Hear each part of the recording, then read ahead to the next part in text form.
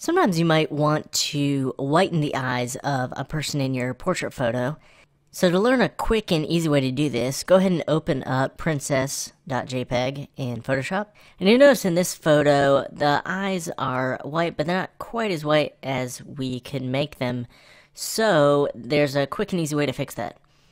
We could paint white on a new layer and adjust the blending mode, but this is a much better way, I think. Go ahead and press Ctrl J on the PC or Command J on the Mac. That duplicates the layer so that we have two layers in the layers panel, exactly the same. Go ahead and change the layer blending mode of this top layer to screen. That lightens up the photo a bit and it actually improves some of the area around here as well, but let's say you didn't want all this area here that light. Uh, we could adjust the opacity, but let's say we only wanted the eyes lightened what we would do is add a mask and fill it with black and then let these areas show through in the mask. How do we do that? Well, one way is to add a layer mask on the bottom and then make sure your foreground is black. So we'll flip that there. You can press D for the default foreground and background, white and black, and then press X to flip them, or just click that foreground color and set it to black. And press Alt Backspace on the PC or Option Delete on the Mac, and it fills the mask here on the layers panel with black, and it covers up the entire top layer.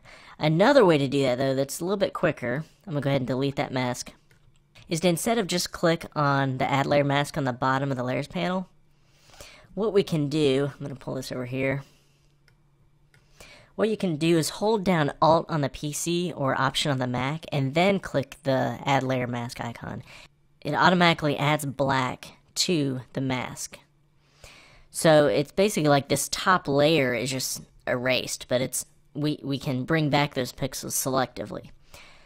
So make sure your foreground color is set to white. So we're going to flip those. We can click right there, the bottom of the tools panel, or press X.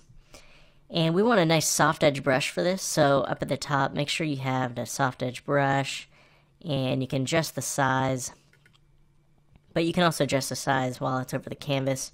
Press left or right bracket to resize it. If you don't see that size, make sure caps lock is not on. If it's on, you'll just have it with the crosshairs there, so we need to make sure caps lock is off. So we'll need to zoom in, so control or command plus so control plus on the PC, command plus on the Mac. And this brush is too large now, so we need to do left bracket. And what you'll do, you could make selections beforehand if you want to get really precise, but I think this will be fine. We just want to paint in here, and we're not painting in white per se because it's retaining the texture of the underlying layer. It's just masking through, making this a little bit larger here. It's just masking through. All right. Uh, so it retains that texture. I know it's a little bit strong. We're going to fix that in a second. So just go right along the edge here. And then right along here. And notice it's retaining that